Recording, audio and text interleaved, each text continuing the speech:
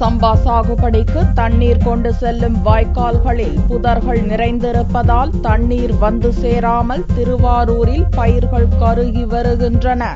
Kaveri delta பகுதிக்கு மேட்டூர் அணையிலிருந்து தண்ணீர் திறக்கப்பட்டதை தொடர்ந்து சம்பா சாகுபடி பணியில் விவசாயிகள் விறுவிறுப்பாக ஈடுபட்டு வருகின்றனர். மேட்டூரிலிருந்து கல்லணை வழியாக காவிரி வெண்ணாறு மூலமாக பல்வேறு ஆறுகளுக்கும் தண்ணீர் செல்கிறது.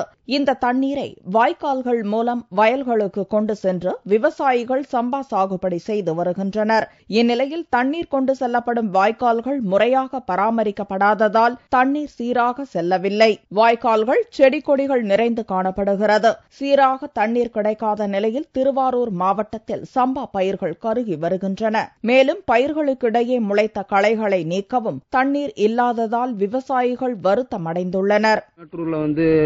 நூற்றி இருபது அடிக்கு மேலே தண்ணி இருக்குது நீங்கள் விவசாயம் பண்ணலான்னு சொன்னாங்க. அதை நம்பி நாங்கள் வந்து விவசாயம் பண்ணிகிட்டு இருந்தோம்.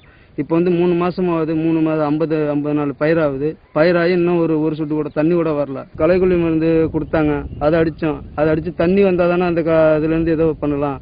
தண்ணியும் காணும். களைக்கொல்லி அடித்து பயிர் தான் சாகுது விவசாயத்திற்காக திறக்கப்பட்ட தண்ணீர் முறையாக கிடைக்க அரசு விரைந்து நடவடிக்கை மேற்கொள்ளாவிட்டால் மறியலில் ஈடுபட உள்ளதாக விவசாயிகள் தெரிவித்தனர். இது வரலும் மூணு மாசம் ஆச்சு தண்ணி வந்து. இது வரையிலும் இது நம்ம தாய் வாய்க்கால் அந்த பெரிய வாய்க்கால் தான். அதுதான் மெயினான பாசன வாய்க்கால் இது. இது வரலும் தண்ணியை அவங்க திறந்து விடல. விவசாய சங்க சார்பாகவும் போய் கேட்டாங்க. அதுக்கான ரிசல்ட் இது வரலும் வரல. இந்த பயிரை பாருங்க கருகி போயிட்டு. இனிமேல் மழை வந்தா மட்டும்தான் நாங்க விவசாயம் பண்ணணும். ஒரு ஒரு காலத்துல எங்களுக்கு தண்ணி வரலனா கடுமையான சாலை மறியல் போராட்டம் பண்ணலாங்கிற மாதிரி ஒரு முடிவு எடுத்திருக்கிறோம். நீர்நிலைகளை அரசு முறையாக தூர் வாராததால் மேட்டூர் அணையிலிருந்து திறக்கப்பட்ட தண்ணீர் இரண்டு மாதங்கள் ஆகியும் இதுவரை கடைமடை விவசாயிகளுக்கு சென்று சேரவில்லை. வீணாக கடலில் கலக்கும் தண்ணீரை சேமிக்க அரசு விரைந்து நடவடிக்கை எடுக்க வேண்டும் என்றும் விவசாயிகள் கோரியுள்ளனர்.